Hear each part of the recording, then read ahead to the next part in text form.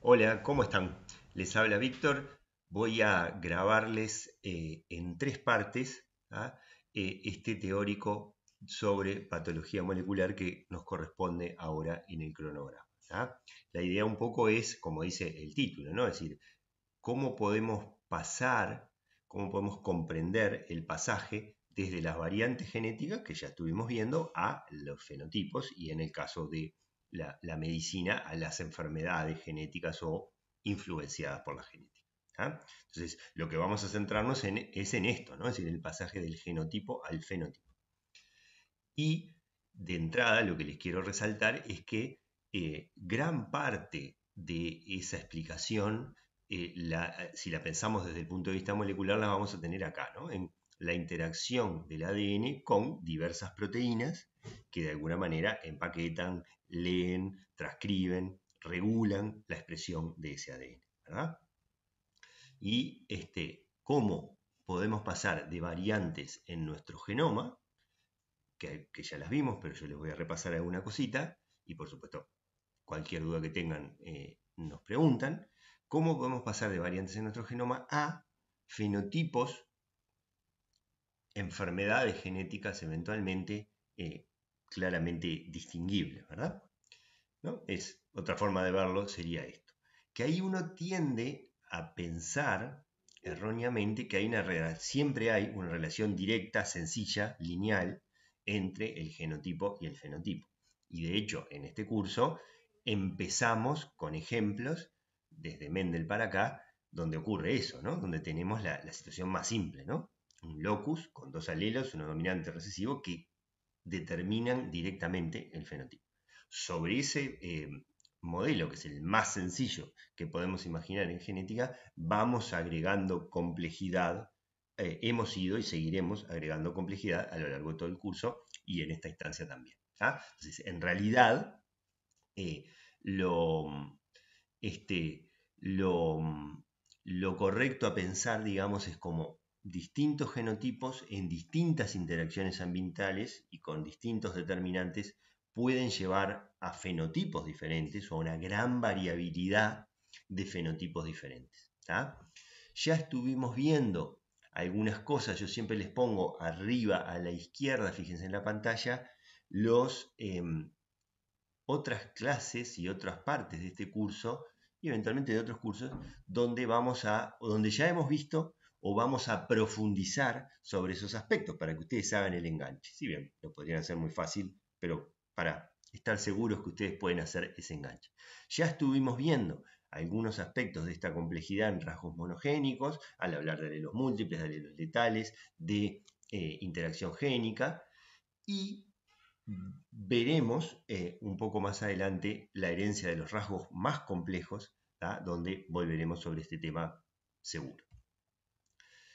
Recordemos cinco cosas antes de, seguir adelante y acá los remito a cosas que ustedes ya tienen que haber visto en cursos anteriores de biología celular y molecular. Primero, el flujo de la información genética en la célula, ¿no? transcripción, procesamiento del ARN, eh, exportación del, ARN mensajero al, citoplasma, traducción y síntesis de proteínas y cómo algunas de esas proteínas vuelven al núcleo, bueno, cumplen funciones en toda la célula. Eh, Recordar también la, base central, si, nos, pensamos desde ese flujo de información genética, la base central de la biología molecular, ¿no? Es decir, tenemos el ADN, tenemos un cambio, en este caso de una base por otra en el ADN, ese cambio se transcribe al ARN y ese cambio, de acuerdo al código genético, puede tener un efecto sobre la secuencia de aminoácidos y por tanto la estructura de la proteína. A su vez, esa estructura primaria, ¿no? la secuencia lineal de aminoácidos, determina las estructuras secundarias, terciarias y eventualmente cuaternarias de las proteínas, y eso hace que bueno, la función de la proteína, sea cual sea, funcione y en el compartimiento celular o extracelular que corresponde. Acá tenemos un ejemplo clásico, uno puede estudiar toda la genética a partir de la anemia falciforme, de este, cómo un cambio puntual en el gen de la beta-globina y un cambio de aminoácido en la proteína de la beta-globina lleva a un cambio en la estructura de la hemoglobina y un cambio en la, en determinadas condiciones físico-químicas, ¿no? De bajo oxígeno, un cambio en la forma de los glóbulos rojos y la enfermedad que conocemos como anemia falciforme cuando, bueno, cuando está en homocigosis, ¿no? Es decir, cuando todas todas las proteínas van a estar alteradas. Recordar también la estructura básica del gen eucariota, con su estructura de exones intrones, con eh, las regiones que están en el ARN mensajero, pero que no se traducen y por lo tanto no son codificantes, 5' y 3', pero que son muy importantes para la estabilidad del ARN mensajero, para que pueda ser traducido, para que pueda ser transportado, ¿no? las modificaciones en los extremos, la caperuza, la cola poliá, las regiones, entonces tenemos exones, intrones, regiones 5' UTR, UTR quiere decir Untranslated Region, y las regiones reguladoras, promotor, enhancers, otros, que van a estar en general antes de hacia 5' del gen, pero pueden estar en intrones o pueden estar después. ¿sí? Recordar también cómo esas proteínas que son codificadas en, em, en, los genes y determinan, esos genes determinan una estructura primaria de los aminoácidos, eso, eso va a determinar una estructura terciaria de la proteína y las interacciones con otras proteínas y con otros componentes celulares que va a tener esa proteína. ¿ah? Eso es muy importante tenerlo en cuenta para entender el efecto de una mutación. ¿sí? Acá hay un ejemplo de una proteína que se llama SHH, que interacciona con el, con el colesterol, que es secretada fuera de la célula, que tiene que entrar en los núcleos de otra célula. Este, bueno, todo eso lo tiene que poder hacer con una determinada estructura. Recordar también que vamos a hablar ahora de proteínas fundamentalmente eh, del núcleo celular. Pero recordar también que nosotros tenemos otros ADNs y otras proteínas que están codificadas en nuestras mitocondrias que por ahora lo vamos a dejar para más adelante, por eso lo pongo en rojo, porque es una cosa que vamos a ver más adelante, este, cuando hablemos de en herencia no tradicional, de herencia mitocondrial, vamos a ver algunas peculiaridades de eh, estas proteínas, estos genes y estas proteínas a nivel mitocondrial. Entonces, repasemos cuáles son las variantes genéticas que hemos visto y que vamos a ver ahora. Un poco ya las vimos cuando hablamos de citogenética y cuando hablaron la vez pasada con el que era video también, de variabilidad genética humana, y otras las vamos a ver con más detalle cuando hablamos eh, la próxima sobre técnicas de análisis del genoma, cómo ver, comillas, en nuestro genoma estas variantes, eh, y eh, cuando hablemos de herencia no tradicional, como les decía recién, y cuando hablemos de epigenética. Todo eso queda para más adelante. Variantes citogenéticas ya las vimos, SNP quiere decir Single Nucleotide Polymorphism, a veces SNB, Single Nucleotide Variant, variantes de nucleótido único o variantes simples, cambia una, base en el ADN por otro. CNB quiere decir Copy Number Variants, variantes en el número de copias, yo ahora les voy a mostrar, pero son regiones de nuestro genoma que están dos veces, tres, cuatro, cinco, ninguna, este número variante de copias, de regiones grandes de nuestro genoma. Indels quiere decir inserciones de lesiones, regiones que son más chicas, imagínenselas entre unos 100 y 200 pares de bases, que o están de lesión, perdón, o están inserción o no están de lesión en nuestro genoma, Indel. Micro y mini satélites los vamos a ver más adelante cuando hablemos de herencia no tradicional, pero son sobre todo regiones muy chiquitas de 3, 4, 5, 6, 7 pares de bases repetidas, una tras de la otra, ¿no? Imagínense un triplete CGG, CGG, CGG, CGG, 200 veces, esos son micro y mini satélites, que van a determinar, yo les voy a mostrar alguna cosita acá, pero sobre todo lo vamos a ver en detalle cuando hablen con mis compañeras de herencia no tradicional. Y variantes epigenéticas que las vamos a ver más adelante. Eh, hay un concepto que es central, que es el de mutaciones y polimorfismos, sobre el cual van a volver cuando vean con Bernardo eh, genética de poblaciones. ¿ah? yo les voy a adelantar alguna cosita acá. ¿ah? Por supuesto que desde un punto de vista molecular, mutaciones y polimorfismos son la misma cosa. Un cambio en el ADN, un cambio heredable en el ADN. Lo que pasa que la distinción entre mutación y polimorfismo es una distinción que tiene que ver sobre todo con la frecuencia y con esto que nos muestra este esquema. En la parte A uno puede imaginar un fenotipo para el cual hay una variante en un gen que es el único o el principalísimo determinante de ese fenotipo. Eso es lo que llamamos enfermedades mendelianas, enfermedades monogénicas, enfermedades sencillas, lo que empezamos viendo en el curso. ¿Sí? Que, como ya les dije, a eso le vamos agregando capas de complejidad a medida que avanzamos.